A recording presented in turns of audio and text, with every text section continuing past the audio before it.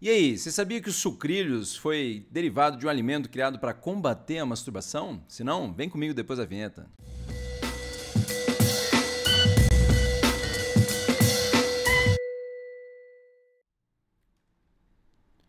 Fala, sua louca, seu louco, beleza? Aqui é o Prof. André do História em Casa nessa ondinha do saber. Você lembra que hoje a gente vai aí de história, mas antes de continuar, é claro, já dá o like no vídeo, se inscreva no canal se não é inscrito, ativa o sininho e também segue a gente lá no Instagram e no Facebook do Prof. André História em Casa, além de ouvir o nosso podcast no Spotify. Não esquece, hein? Não esquece também de compartilhar o canal com a galera e deixar o seu comentário ao final do vídeo.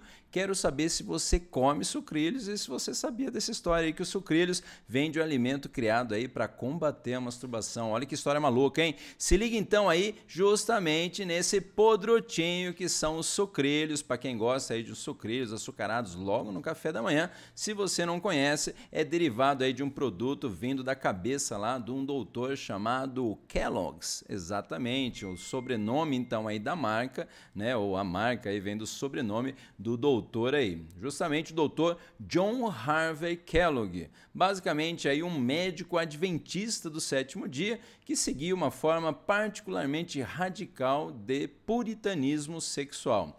Por sinal, muito interessante aí que ele falava que um dos principais problemas aí do ser humano era justamente aí a masturbação, né? E falava aí que várias doenças e pecados também andavam juntos com aí problemas de saúde, né, no organismo aí do ser humano. Falava também que a decadência da alma causava aí a decadência do corpo e que segundo ele esse vício mais letal da humanidade seria a masturbação, que até segundo ele, né, ele catalogou mais de 39 sintomas aí, entre, por exemplo, a acne, má postura, epilepsia, palpitações e se bobear até aquela mão cabeluda também aí.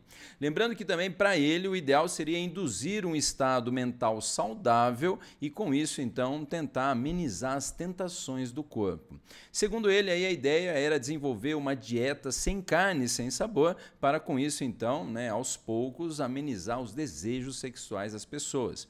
E ele coloca em prática essas ideias num sanatório que ele trabalhou em Battle Creek, em Michigan, lá nos Estados Unidos, onde então ele começa a desenvolver uma dieta com alimentos sem graça, que é muito interessante também, com essa ideia de né, limitar a libido, uma dieta baseada justamente no milho, é essa planta maravilhosa aí que é o milho, né, que para alguns aí também lembra, como os incas aí, é visto até como a planta que os deuses utilizaram para criar a humanidade. Olha que louco. Lembrando que nós temos aí aí, né, que basicamente o corn flakes, o floco de, o floco de milhos, foi criado a partir aí de um erro do irmão mais novo do Dr. Kellogg, o Will Keith Kellogg, que ele acabou aí esquecendo num forno lá, né, uma maçaroca de milho que depois eles trituraram e acabaram então criando flocos de milho. Tá aí para vocês o Will Keith Kellogg, o irmão mais novo então do Dr. Kellogg, que através desse erro aí, na verdade, eles conseguiram então criar o floco de milho e começaram então a oferecer isso para os pacientes lá no sanatório. O que é interessante também é que um pouquinho depois, isso lá em 1897, os dois criaram uma companhia chamada Sanitas Food Company, que um pouquinho depois então transformou-se na Kellogg Company, quando Will Keith acabou aí assumindo o controle acionário da empresa. Lembrando que o Will Keith acabou adicionando também aí no caso açúcar, o que deixou aí o alimento um pouco mais interessante e também tentador aí para a galera. E que se for ver, não acabou combatendo também esse mal manual que é a masturbação.